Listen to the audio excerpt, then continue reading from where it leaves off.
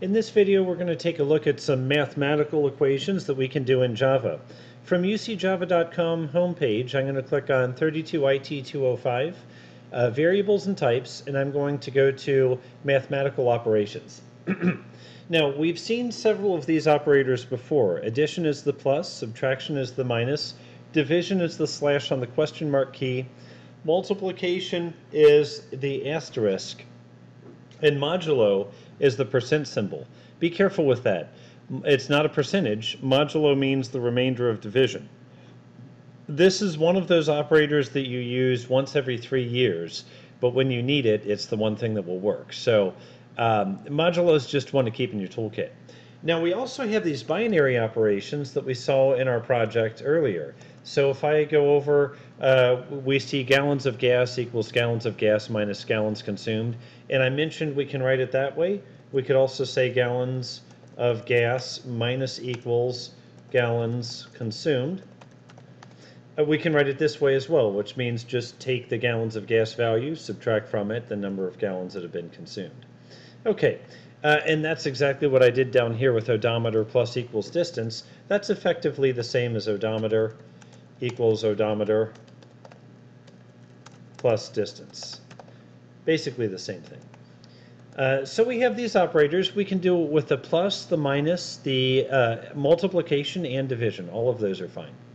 Okay, uh, now we want to take a look at some mathematical operators. Uh, sorry, we want to take a look at the order of operations. So this is the order of operations if we have a compound statement in Java. So if we have a really long string or a really long series of operations, it's going to follow, and this, this, is, this is fairly complicated here, but it's going to follow a principle that we learned back in middle school, BODMAS. So brackets, order power, divide, multiply, addition, and subtraction. So uh, it's going to work left to right, but it's going to do everything within brackets first, then everything that's order of operations, then divide, then multiply, then addition, and then subtraction. So addition and subtraction will be the last thing that will happen if we have a long equation. Let me run back to the first program that we made uh, in our first week of class. So I'm going to go here to hello, and I'm going to go to greetings. Okay, and let's try a few things out.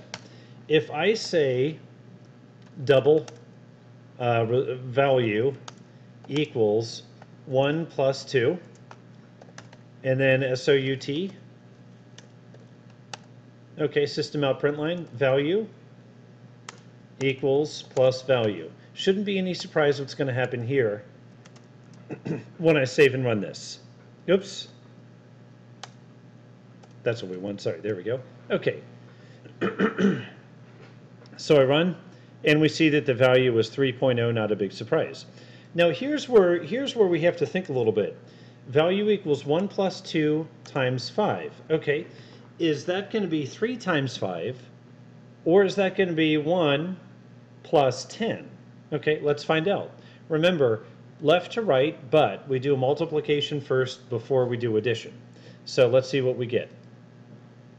We get the value of 11 because even though it works left to right, it multiplied these two together and then added 1. Okay, let's make that 10, and let's say 2 times 10 plus 2 times 5. So what I'm expecting to see here is 2 times 10 is 20, 2 times 5 is 10, 20 plus 10 is 30, because it's going to do the multiplication first, going left to right, and then it's going to do the addition. So uh, 20 plus 10 is 30. If order of operations didn't matter, it would be 2 times 10 would be 20, plus 2 is 22, uh, times 5 would give us about 120 if I'm doing the math right, right in my head. So we see that the precedence of the multiplication operator over the addition operator is important. Okay, and sure enough, we see 30 because 2 times 10 is 20, 2 times 5 is 10, add them together, we get 30. Okay, what if we wanted to change the order of operations? If we wanted to do that, we would use curly braces and we would say, do whatever is in the curly braces first. Remember BODMAS, brackets, which includes our curly braces, do that first before division, multiplication, addition, or subtraction. So we're going to say 10 plus 2 is 12.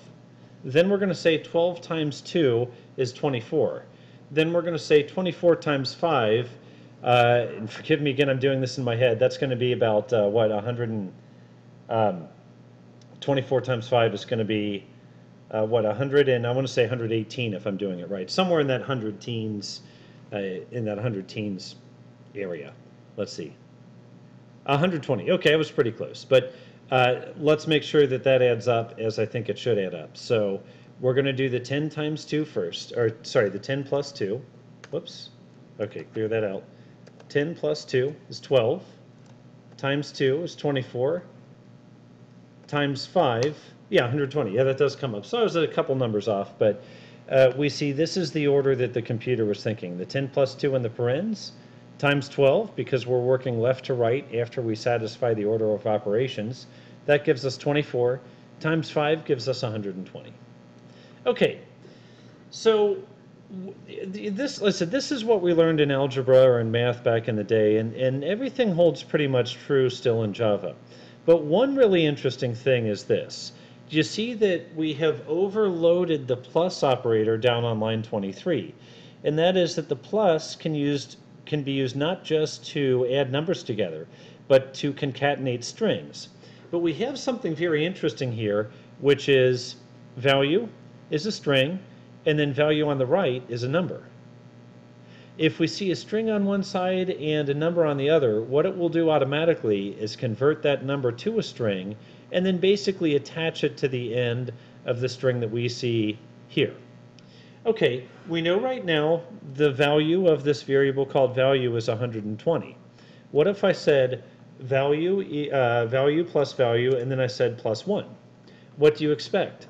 Would this give us 121? Given that the value variable has 120, what would value plus 1 give us? You might be surprised. Let's take a look. It gives us 120.01. Now, how did that happen? Well, it's not that it added 0.01 to this variable called value. What it did is it's operating left to right. And remember the rule I just told you. If I have a string here, and then I have a number on the right, it's going to convert the number to a string and then concatenate them together. So if we just look at this, it's going to change the value variable uh, basically in memory, change it to a string, append it to the end of this string, now we have a string. Now working left to right, this is the next operation we're going to do. And what's the type on the left? A string. What's the type on the right? On the right, a number. So it's not going to mathematically add value plus 1, it's going to concatenate them as strings. Let's try one more thing. Let me just make it 1111, and let's try one more thing again, see if we can visualize it. You see now, 120 uh, 0.0 and then 11111, it's showing this as a string and it has just taken the string 120.0 and concatenated onto the end of that the string 1111. So we have to be careful with this and I'll tell you right now there's a quiz question that's going to deal with this exact subject. So uh, be a little bit careful with this, but if we wanted to see, let's take a look at another view, another perspective. What if we actually did want to add those in line? Well, remember, we can change the order of operations by using parentheses because parentheses have a higher precedence than the plus, the minus, the multiplication, or the division. So parentheses will evaluate first. Now that I've added parentheses, let's try this experiment again. Now you see the value is 1231.0, which is the sum of 1111 and the number 120.0. So you see now it actually does the math here first, and after doing the math, then it concatenates with the value called, with the, uh, sorry, with the string called value. Honestly, what's the moral of the story here? The moral of the story is don't write code that looks like this. What I would do, this is not very readable. Uh, if this were in a code review, I would not be very happy with it. What I would do is I would make another temporary variable that says maybe double enhanced value equals value plus 111 and then say value plus enhanced value. And you see by breaking this into a separate step, it's a lot more clear, it's a lot more readable. Um, it, it it's not going to have any significant impact on performance or memory in the long run.